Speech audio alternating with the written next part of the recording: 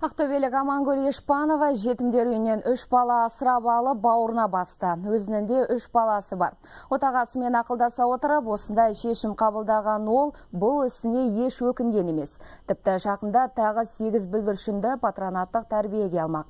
Қазір қажетті құжаттарын әзірлеп жатыр. Мерейлі отбасының ұйтқысы болған Амангүлді біздің тілшіміз мерекемен құттықтап қайтты. Бұл отбасын ақтөбеліктер жақсы білет.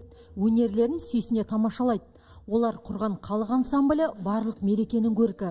Бүгінде кезекті бір шарада ән шырқап би билет. Балаларының бәрі өнерлі. Бұған дейін жетімдер үйінде тәрбиеленген Жұлдызай мен Бибарыс жаңа жанұясына әбден бауыр басқан. Өнерлі ата анасы үйреткен әнді бірге орындайды.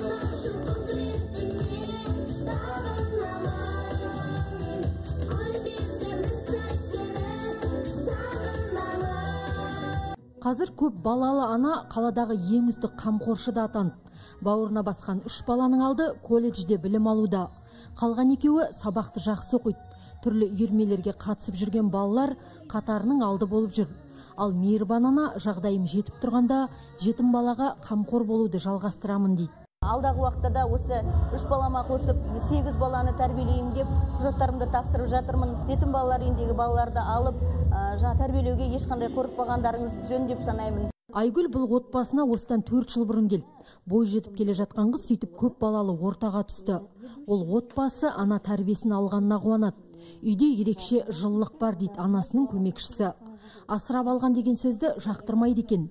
Мен анамның туған қызымын дейді ол. Осыны кешкі асты мамам екеуміз дайындаймыз. Мамам маған көмектесіп тура пісіп салысып басқа да нелерді білемін мысалы шаш өруді тоқуды білем, тігуді білем. оның бәрін мамам үйретті. Қиындыққа мойымайтын әйел үй шаруасында қоғамдық жұмысты да қатар алып жүр. Сахнада балаларға көркемдік жетекші болса үйде мейірімді ана.